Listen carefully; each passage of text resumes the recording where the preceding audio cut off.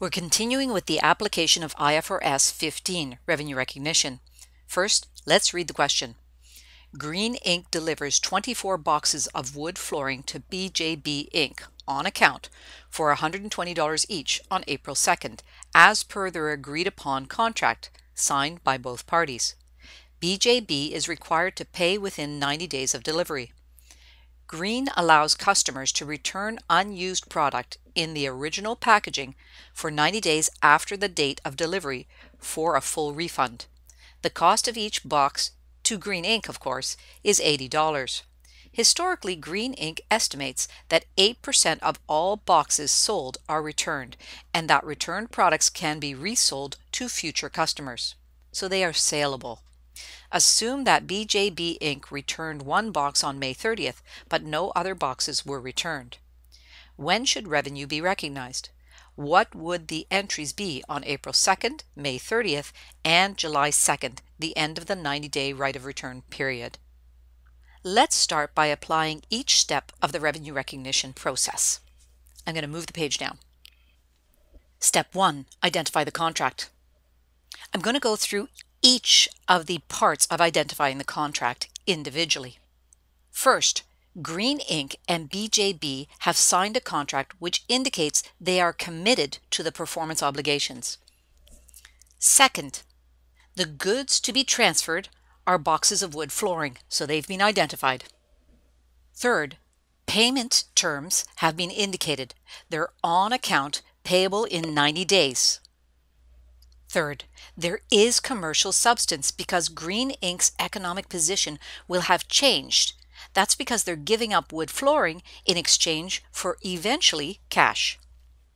And finally, collection is probable because there is no indication that BJB will have difficulty paying at the end of the 90 days.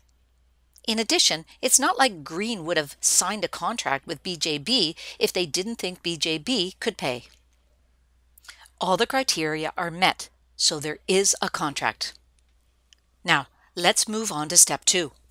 I'm going to move the page down. Identify the separate performance obligations. There is only one performance obligation, the delivery of the 24 boxes of wood flooring. Often, students think that the right of return is an other performance obligation, but it's not because the right of return is not distinct or separable from the sale of the wood flooring. The return is dependent on the sale, so the return is not distinguishable from the remainder of the sale.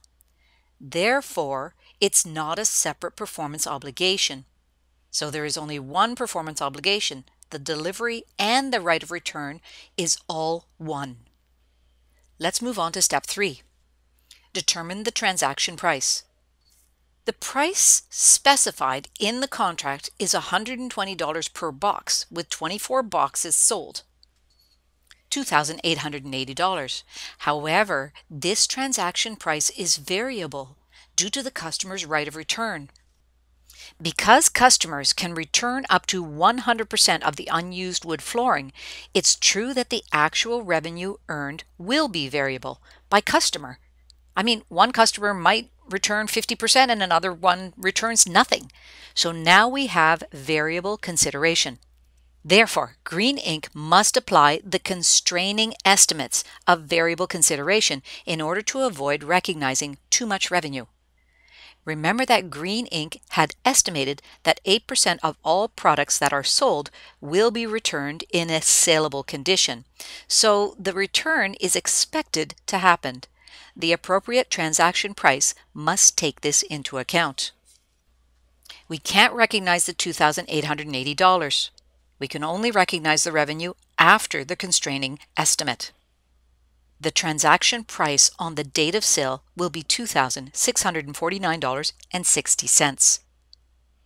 Let's move on to step four. Allocate transaction price to the separate performance obligations. This isn't applicable because there's only one performance obligation. Moving on to step 5. Recognize revenue when the performance obligation is satisfied. On April 2nd, when Green Ink delivers the 24 boxes of wood flooring to BJB Inc., that's when control of the wood has been transferred. However, just making this statement is not enough. We have to prove that Green Ink actually transfers control by using identifiers of this transfer. Green Ink actually meets multiple identifiers of transferring control. I'm going to go through all of them because this is a teaching opportunity, but remember you only need to use one when you're actually writing a solution to a case or question.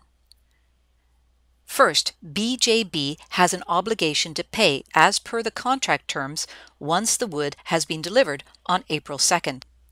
Second, BJB Inc. has possession of the wood flooring as of April 2nd. 3. BJB Inc. has legal title of the wood flooring because the contract indicates that legal title has transferred as of April 2nd. 4. The risks and rewards of ownership have transferred on April 2nd because BJB, if they accidentally damage the wood flooring, it'll be their problem, not Green Ink's, so they have the risks of ownership. In addition, BJB has the rewards of ownership because they can use the wood as wood flooring or they can sell it to a third party. I'm just going to move the page down. BJB, after delivery on April 2nd, can do anything they want with the wood flooring, so they definitely have all the risks and rewards of ownership. And 5. BJB has accepted delivery of the wood flooring on April 2nd which is another indicator of control being transferred. Again, note that I've analyzed all five indicators of the transfer of control on April 2nd, but you're not required to provide an analysis of all of them. You're required to provide an analysis of one of them using case facts. My recommendation is that you always use the risk and rewards of ownership because this is an indicator that fully addresses control. Let's just move the page down. Our conclusion is that there's been a transfer of control. So now let's do our recommendation. Recognize revenue less the right of return estimate on April 2nd. Why? Because it meets all the revenue recognition criteria. Perfect. Let's move forward with the entries.